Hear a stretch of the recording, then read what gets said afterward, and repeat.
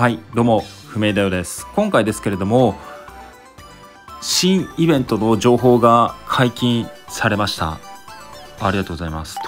ということでえっ、ー、と本日ね多分11時更新になるのかなと思うんですけども、えー、情報が来てるんで紹介していきたいと思います。で激アツでまさかのスキチケ手に入りますという情報でステッカーブック来るんですよ。2月新積む限定になるんですけども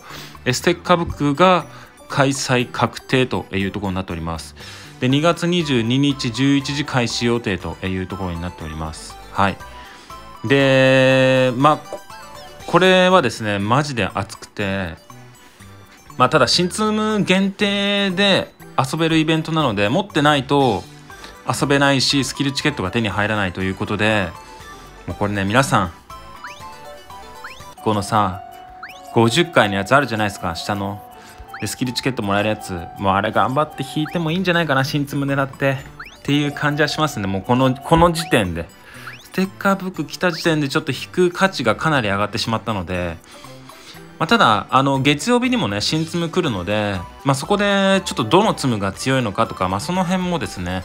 えー、ちょっとまた新ツム登場して評価とかね引くべきかっていうところの、ま、解説もするんですけどもはい。えー、とりあえず超激アツイベントが確定しました。ありがとうございます。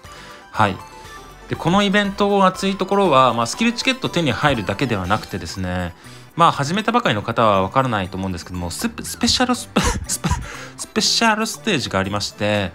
でそこがいつもと違うつむつむ遊べるんですよね。ゲームが、まあ、例えばえー、っと降ってくるスピードが鬼速いつむつむを遊べるとか例えばぐるぐるつむつむがつむが回ってる、えー、のを遊べるとか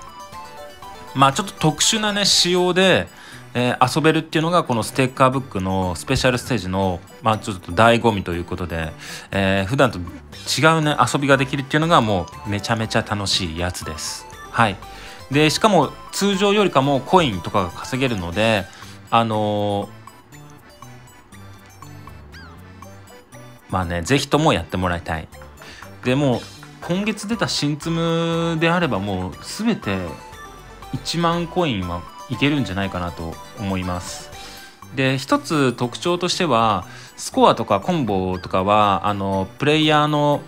情報には反映されないっていうところとコインの獲得上限があって、ま、スコインで1万コインまでしか稼げないっていうところですね。でコイン倍率においては、まあ、上乗せされて、まあ、1万以上稼げるんですけども、ま、スコインですね。はもう上限1万コインというところが、決まっております。はい。っていう感じでですね、えー、本日ステッカーブックの情報が解禁されました。はい。何なんでしょうね。普通なんか新ツムとか来た時に来るのかなと思ってたんですけども。一応カードの方も見てみましょうか。カードの方カードの方はドナルド・デイジーさんが写ってますね。ここに新ツム載ってる時あったんですよ昔。今回は載ってなかったね。ここここでネタバレで新ツム載ってた時あったんですけど今回は載ってねえと。えいうところでしたけれども。はい、えー、まあこんな感じでですね、